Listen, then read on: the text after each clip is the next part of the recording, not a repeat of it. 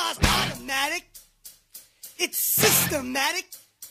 It's hydromatic. Why It's crystal lightning.